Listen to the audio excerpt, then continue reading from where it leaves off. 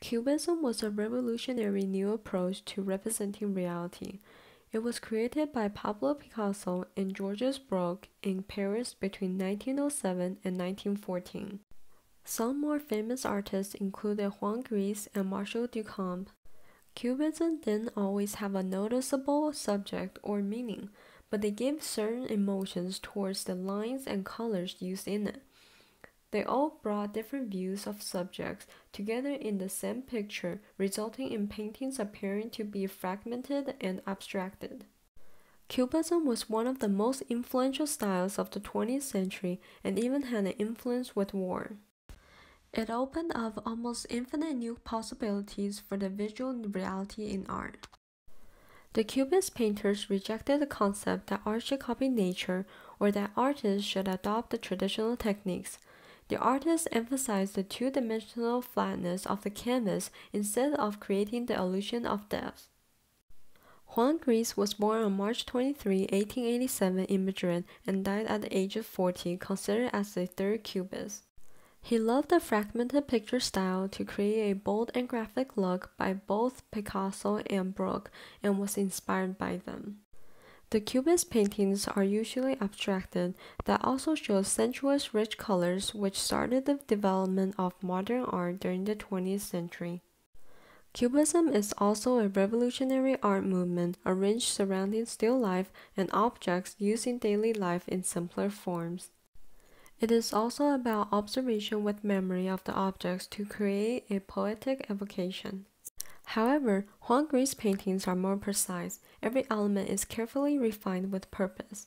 He painted a portrait of Picasso and the still life with checkered tablecloth. Juan Gris was also one of the movement's leaders during World War I and later designed costumes and sets of ballet company. Georges Braque was a French Cubist painter.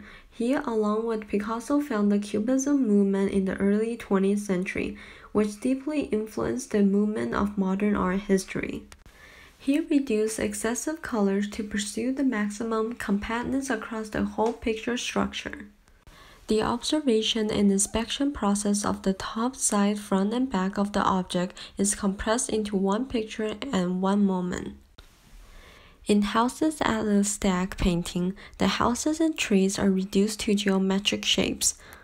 Braque compressed the space depth of the picture in a unique way, making the house in the picture look like a biased paper box, but between the plane and the three-dimensional effect.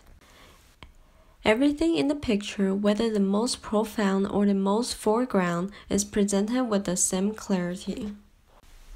The grim events leading up to World War II had a profound effect on Braque, during which he painted a series of skulls and other still lifes. His paintings at the time exclude a sense of darkness, despair, pain, and misery as if making a political statement.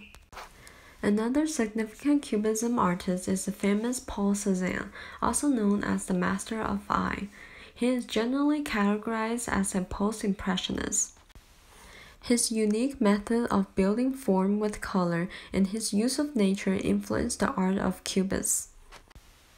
In his early pictures of romantic and classical themes are infused with dark colors and executed with discreet brushstrokes, such as his painting Nymph, the Gulf of Marseilles seen from L'Estaque.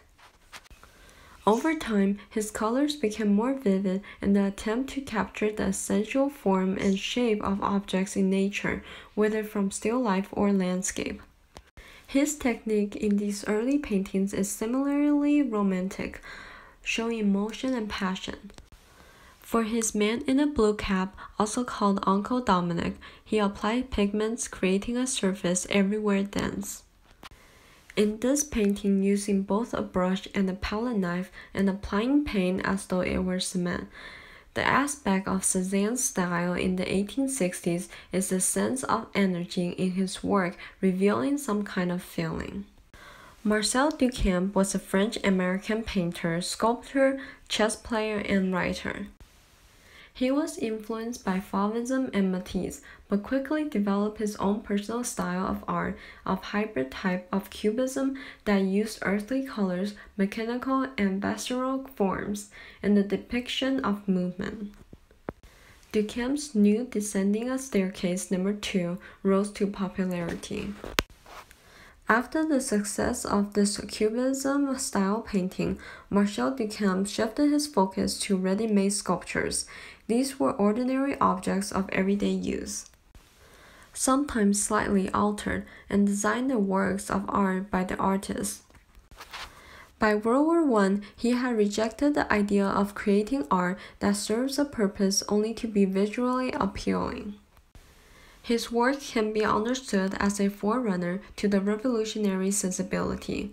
Duchamp's greatest contribution to the art world and the history of art lies in his ability to question criticism and playfully ridicule existing norms.